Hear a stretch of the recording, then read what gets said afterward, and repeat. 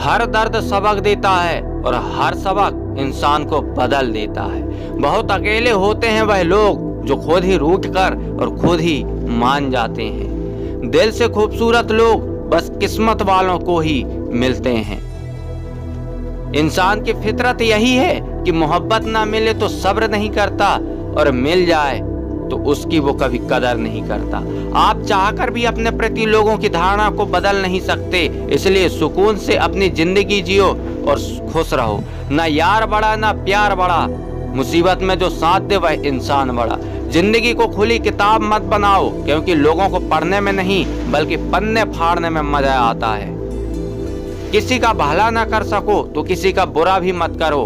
क्योंकि दुनिया कमज़ोर है, लेकिन दुनिया बनाने वाला नहीं। ज़िंदगी के तजुर्बे ने एक बात सिखाई है कि सबसे ज़्यादा चोट आप किसी अपने ज़िंदगी में कुछ फैसले हमें खुद लेने पड़ते हैं और कुछ हमारी तकदीर। बस अंतर तो सिर्फ़ इतना है कि तकदीर के फैसले हमें पसंद नहीं आते और हमारे फैसले तकदीर पसंद नहीं करती। एक नया सबक सीखा है ज़िंदगी से। जितनी कदर करोगे उतना ही परेशान रहोगे। बहुत ख्याल रखते हैं जो अपने दिल का इधर नहीं लगता, वह उधर लगा लेते हैं। कोई भी व्यक्ति हमारा मित्र या शत्रु बनकर नहीं आता संसार में। हमारा व्यवहार और हमारे शब्द ही लोगों को हमारा मित्र और शत्रु बनाते हैं। जहाँ उम्मीदें खत्म हो जाती है, सुकून वहीं से शुरू होता है। अनुमान मन की कल्पना है और अनुभव ज़िंदगी का सबक होता है। दुख जीवन में इसलिए आते हैं ताकि हम खुद का महत्व समझ सकें।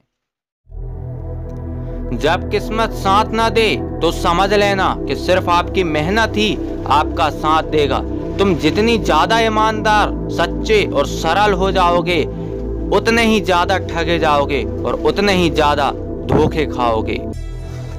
जिनका वक्त खराब है, उनका साथ ज़रूर दो, लेकिन जिनकी नीयत खराब है, उनसे दूर ही रहना। बेहतर है। ज़िंदगी छोटी नहीं होती, लोग जीना ही देर से शुरू करते हैं। जब तक रास्ते समझ आते हैं, तब तक लौटने का वक्त हो जाता है। रिश्ते ज़ोर नहीं होने चाहिए। अगर एक खामोश है तो दूसरे को आवाज़ देनी चाहिए। सफलता पा लेना कोई बड़ी बात नहीं है, लेकिन सफलता को संभाले रखना बहुत बड़ी बात है। ताश का जोकर और अपनों की ठोकर अक्सर पूरी बाजी ही घुमा देता है। तो सब्र रख दूरियों का, मजाल उसे भी होगा। तू किसी और का होगा तो मोहब्बत कैसा